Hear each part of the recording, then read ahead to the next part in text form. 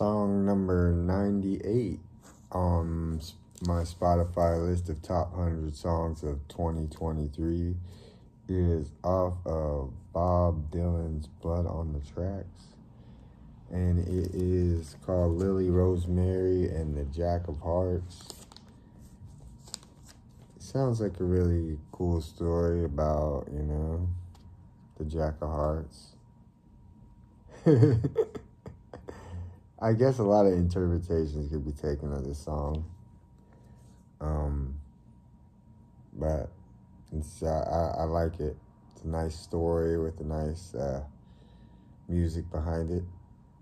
You know, you can make of it what you will. Love you. Thank you.